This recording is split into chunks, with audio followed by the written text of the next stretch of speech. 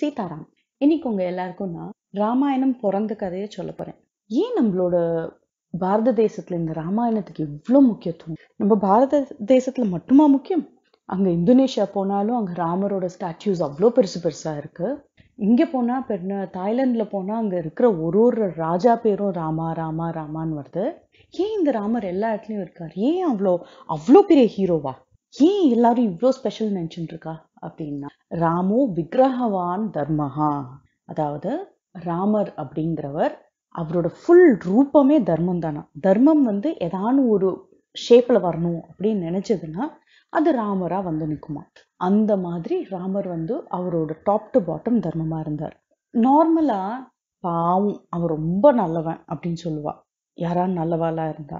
நல்லவாளா இருந்தா பாவமா இருக்கணுமான்னு நம்ம ராமர் அப்படி கிடையாது. ராமர் வந்து ரொம்ப பிரேவ் அவரை பார்த்தாலே மரியாதை வருமா? ஒரு பயம் மரியாதை. அதே சமயத்துல ஒரு ஆசையா இருக்குமா அவர் கிட்ட போகணும்னு? அது மாதிரி இருக்குமா ராமர் கிட்ட போறதுனா அவரோட ஸ்மைல் இருக்குல்ல அது அப்படியே வந்து சந்திரனை பார்க்குற மாதிரி இருக்குமா? அவ்வளோ குலுகுலுன்னு இருக்குமா? ஆனா அவர்கிட்ட போயிட முடியாதான். அது மாதிரி ஒரு பர்சனாலிட்டியா எப்படி இருக்கும்ல அவரை பார்க்கறதுக்கு? இந்த ராமரை பத்தி யார் எழுதினா அப்படின்னா வால்மீகி மகரிஷி தான் ராமாயணம் அப்படிங்கிற ஒரு பியூட்டிஃபுல் கிரந்தத்தை நமக்கு பண்ணி கொடுத்துருக்காரு. இந்த கிரந்தத்துக்கு இத்திஹாசம்னு பேரு. இத்திஹாசம்னா என்ன அப்படின்னா அப்படியே நடந்ததை சொல்றது தான் இத்திஹாசம்ங்கிறது. ஸோ அப்படின்னா என்ன? அதுதான் நம்மளோட ஒரிஜினல் ஹிஸ்டரி டெக்ஸ்ட் புக் வேற எந்த டெக்ஸ்ட் புக்குமே ஹிஸ்டரி டெக்ஸ்ட் புக் இல்லை. ராமாயணம் அதே மாதிரி மகாபாரதம். இது ரெண்டும் தான் நமக்கு இத்திஹாசங்கள். இது ரெண்டும் தான் ஆஸ் இட் இஸ் சொல்றத சொல்றது நமக்கு. ஸோ இந்த ராமாயணத்துல என்னாச்சா ஒரு நாளைக்கு? வால்மீகி மகரிஷி அவரோட ஆசிரமத்துல உட்கார்ந்துருந்தாராம் அவர் பாட்டு உட்காந்து தபஸ் பண்ணிட்டு இருக்கச்சு. ஒரு நாளைக்கு ரொம்ப பீஸ்ஃபுல்லா தபஸ் பண்றவருக்கு மைண்ட்ல கொஷின் மேல கொஷின் மேல கொஷின் வந்துட்டே இருந்துதான் என்னடா இது? இன்னைக்கு நம்மளோட தபஸ் பீஸ்ஃபுல்லா இல்லாம இவ்வளோ கொஷின்ஸ் வந்துட்டு இருக்கே நம்ம மைண்ட்ல அப்படின்னு அவர் நினைச்சுட்டு இருந்தாராம். அப்போன்னு பார்த்து ஒருத்தர் உள்ள வந்தாராம் அவரோட ஆசிரமத்துக்கு. நாராயண நாராயண அப்படின்னு தம்புராவை மீட்டுன்னு வந்தாராம். எல்லாருக்கும் பார்த்த உடனே தெரிஞ்சுதான் அடடே நாரதர் வந்திருக்கார் அப்படின்னு. யாரான ஆத்துக்கு பெரியவா வந்தா என்ன பண்ணணும்? ஓடி போய் வாங்கு வாங்குன்னு சொல்லணும் இல்லையா? வால்மீகி மகரிஷியும் அதே தான் பண்ணாராம். அவர் வந்து ஜலத்தை எடுத்துட்டு போய் அவரோட காலை அலம்பி விட்டு கையை அலம்பி விட்டு அப்புறம் கூட்டின்னு வந்தாராம் உள்ள. நம்ம கொரோனா வைரஸ்க்கு தானே பண்ணிட்டு இருக்கோம் இப்போ? வெளியில போயிட்டு வந்தா கை கால் அலம்புறோம் இல்லையா? இதை ராமாயண காலத்திலேயே பண்ணியிருக்கான். நம்மளோட பெரியவாள்லாம். ஸோ உள்ள கூட்டின்னு வந்து அவருக்கு ஒரு ஆசனம் போட்டு உட்காத்தி வச்சு அவருக்கு ஜலம் கொடுத்து குடிக்கிறதுக்கு அவர்கிட்ட வந்து வால்மீகி மகரிஷி நீங்க என்ன காரியமா வந்திருக்கேல் அப்படின்னு கேட்கலையாம் அவர் என்ன பண்ணாரா? எனக்கு மைண்ட்ல ஒரு டவுட் இருக்கு நாரத முனிவரே அப்படின்னாராம். சொல்லுங்கோ அப்படின்னாரா நாரதர். சொன்னாரா நீங்க வந்து மூணு லோகத்தையும் சஞ்சாரம் பண்ணியிருக்கேன் இல்லையா? பூலோகம் பாதாள லோகம் அண்ட் ஸ்வர்கலோகம். மூணுத்தையும் நீங்க சஞ்சாரம் பண்ணிட்டு இருக்கேன் உங்களுக்கு தெரியாத வேலையே கிடையாது இல்லையா? எனக்கு யாரான் ஒருத்தர் இருக்காளா? யார்கிட்ட? அவளோட டாப் டு பாட்டம் உண்மை மட்டும்தான் பேசணும் அவா. வேற எதுவும் பேசக்கூடாது. தர்மனிஷ்டனா இருக்கணும். அதே சமயத்துல பயங்கர ஸ்ட்ராங்கா இருக்கணும். அவரை பார்த்தா எல்லாருக்கும் ஆசையா இருக்கணும். ஆனா அவர்கிட்ட நெருங்கிறதுக்கு பயமா இருக்கணும். அவர் வ- அவரை அவரோட சத்ருக்கள்லாம் அவரை நினைச்சாலே பயந்து நடுங்கணும். அது மாதிரி இருக்கணும். அவருக்கு வந்து கோபம் வந்ததுன்னா இந்த காலாக்னி வந்து அப்படியே எல்லாத்தையும் இந்த உலகத்தையும் விழுங்குற மாதிரி வருதுல்ல கோபம். அது மாதிரி வரணும். ஆனா அந்த கோபம் அவரோட கண்ட்ரோல்ல இருக்கணும். அவர் வந்து யார் எல்லாரும் மன்னிச்சு விடணும்னு நினைச்சா இந்த பூமி எவ்வளவு பொறுமையா இருக்கு. நம்ம ஏறி மிதிக்கிறோம் டான்ஸ் ஆடுறோம் குதிக்கிறோம் வெட் அதை குத்தி பிராண்டி என்னெல்லாமோ பண்ணுறோமே இந்த பூமியை. ஆனா இந்த பூமி எவ்வளோ பொறுமையா இருக்கு. அந்த அளவுக்கு அவருக்கு பொறுமையும் உண்டாம். அது மாதிரி பொறுமையா யாரானு இருக்காளா? அப்படின்னு ஒரு பெரிய லிஸ்ட் போட்டுன்னு போறாராம். சத்தியனிஷ்டனா இருக்கணும். ஆஹ் தன்னோட சத்தியத்தையும் காப்பாற்றணும் மத்தவாளோட சத்தியத்தையும் காப்பாற்றணும் தன்னையும் பார்த்துக்கணும் மற்றவாளையும் பார்த்துக்கணும் இப்படியெல்லாம் யாரானு இருக்காளான்னு அப்படின்னு சொல்லி இந்த வால்மீகி மகரிஷி அன்னைக்கு லிஸ்ட் போட்டு வச்சு கேள்வி கேட்டாராம். நாரத முனிவரை. நாரத முனிவர் உடனே சொன்னாராம் நன்னா கேட்டவில்லை ஆனா இவர் ஒரு காலத்துல ஒருத்தர் இருந்தார். எனக்கு தெரியும் நான் அவரை பத்தி கேள்விப்பட்டிருக்கேன் அப்படின்னு இருக்கக்கூடாது. இப்போ இருக்கணும். எனக்கு பார்க்கணும்னா நேரா அவர் ஆத்துக்கு போய் நான் பார்த்துட்டு வரணும். அவர் வீட்டுல போய் அவர் இருக்காரான்னு பார்த்து ஓ இவர் நிஜமாவே இப்படி இருக்காரா? அப்படின்னு நான் வெரிஃபை பண்ற மாதிரி இருக்கணும் அப்படின்னு வால்மீகி மகரிஷி கேட்டாராம். நாரத முனி முனிவர் சிரிச்சுட்டே சொன்னாலாம் இக்ஷ்வாக்கு வம்சத்துல ராமன் அப்படின்னு ஒரு ராஜா இருக்கார். அந்த ராஜா நீங்க சொல்ற அத்தனை குணங்களும் அவர்கிட்ட இருக்கு அப்படின்னாலாம். அப்போ வால்மீகி மகரிஷி ரொம்ப ஆச்சரியப்பட்டாராம். நாரத முனிவர் அவரோட ஃபுல் கதை லைஃப் ஹிஸ்டரிய ஃபுல்லா குட்டியா அவருக்கு ஜஸ்ட் சொல்லிட்டு போயிட்டாராம். தசரத மகாராஜாவோட புத்திரன் அவருக்கு தசரத மகாராஜாவுக்கு மூணு மனைவி அப்படின்னு குடு குடு குடு குடு குடுன்னு கதையை சொல்லிட்டு அவர் வந்து சரி நான் போயிட்டு பாய் அப்படின்ட்டு அவர் கிளம்பி போயிட்டாராம். இந்த வால்மீகி மகரிஷி அங்கே உட்காந்துட்டு இந்த ராமனை பற்றியே யோசிச்சுட்டு இருந்தாராம். அவரோட மனசு இந்தண்டு அந்தண்டு போலியா இந்த ராம குணங்கள்லயே யோசிச்சுட்டு இருக்காராம். ஆஹா இப்படி ஒருத்தர் இருக்க முடியுமா? ஆஹா இப்படியெல்லாம் நடந்திருக்கு அவரோட வாழ்க்கையில? இவ்வளோலாம் நடந்ததுக்கு அப்புறமும் அவர் இந்த சத்தியத்தையும் தர்மத்தையும் விடலையா? அப்படின்னு இப்படி யோசிச்சுட்டே இருந்தாராம். அதுக்குள்ளேயும் பார்த்தா மாத்தியானிக்கத்துக்கு டைம் ஆயிட்டான். அதாவது மூணு வேலையில வந்து அவ போய் சூரியனுக்கு பூஜை பண்ணுவா. முதல்ல வந்து காலம்புற ஆஹ் பிராத்த சந்தியாவந்தனம் அப்படின்னு பண்ணுவா. பிராத்த சந்தியாவந்தனம் அப்படிங்கிறது என்னன்னா காலம்புற நைட்டு போய் பகல் வர நேரம் இருக்கு இல்லையா? அது ரெண்டும் மீட் பண்ற நேரம்ங்கிறது வந்து சந்தின்னு பேரு. ஸோ மீட் பண்ற நேரத்துல வந்து போய் அந்த சூரியனுக்கு வேண்டிக்கிறது. அன்னைக்கு அது வந்து பிராத்த சந்தியா வந்தனம். அப்போ நதியில போய் குளிச்சுட்டும் இது மாதிரி வேண்டிப்பா. அடுத்தது சூரியன் உச்சியில இருக்கார் இல்லையா? அப்போ ஒரு வாட்டி வேண்டிப்பா. அது மாத்தியானிக்கம் சாயந்தரம் திருப்பி வந்து சூரியன் மறைஞ்சு போய் இருட்டு வர நேரம் இருக்கு இல்லையா? அது ரெண்டும் அகெயின் சந்தி பண்ற நேரத்துல சாயம் சந்தியான்னு பேரு. ஸோ இந்த மாதிரி மூணு வேளை இது மாதிரி ப்ரே பண்ணிப்பா.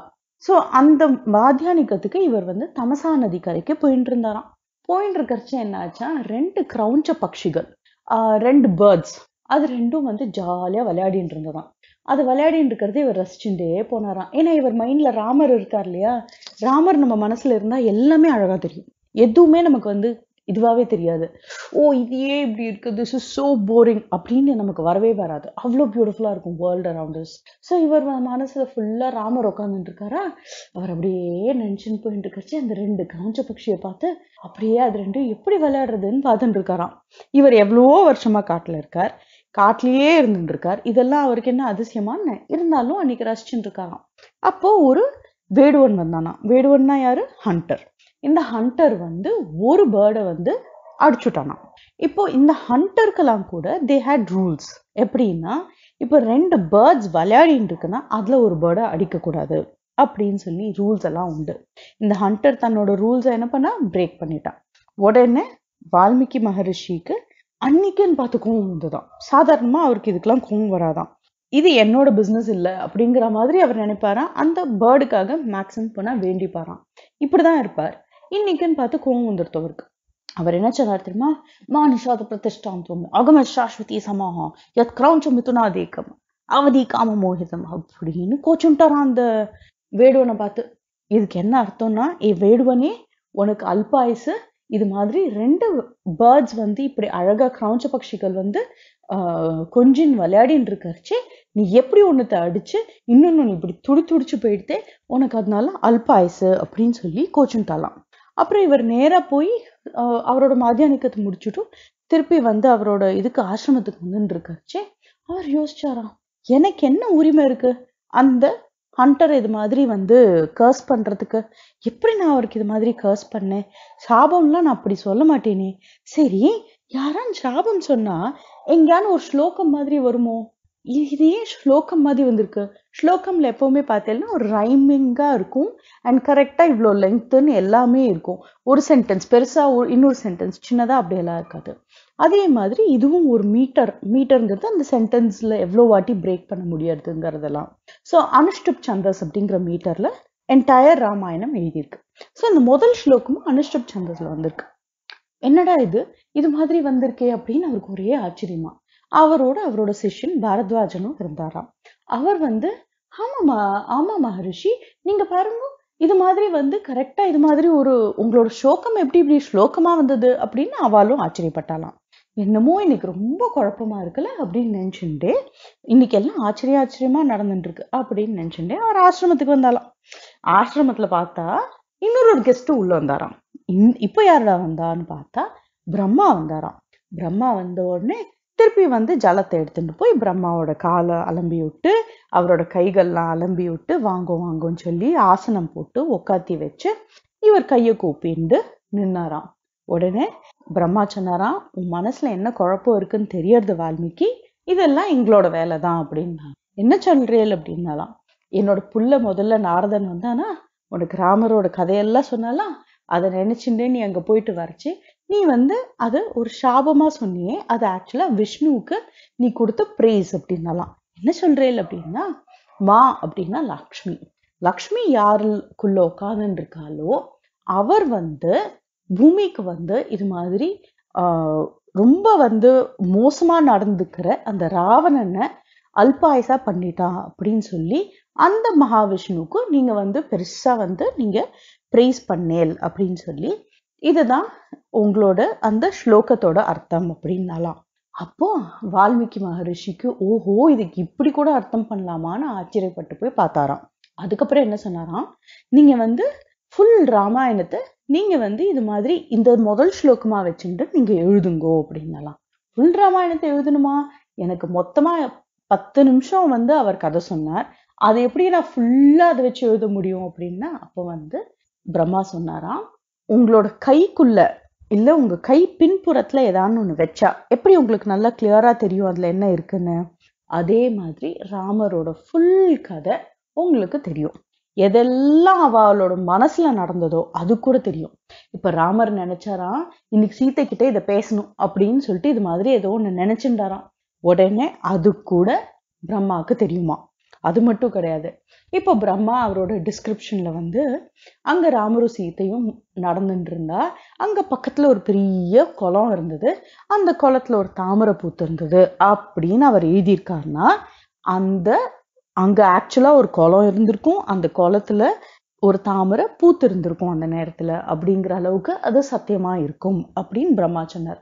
அவர் சொன்னார் என்னோட இந்த வரத்தை வச்சுண்டு நீங்க ஃபுல்லாக ராமாயணத்தை உட்காந்து நீங்களே கம்போ கம்போஸ் பண்ணுங்கோ அப்படின்னு சொல்லி ஆசிர்வாதம் பண்ணிட்டு அவர் சொன்னார் உங்களுக்கு இந்த ஸ்லோகம் வந்து தேவாயில அதுக்கு காரணம் என்னோட ஒய்ஃப் சரஸ்வதி உங்களோட நாக்கில் என்டர் பண்ணிட்டா.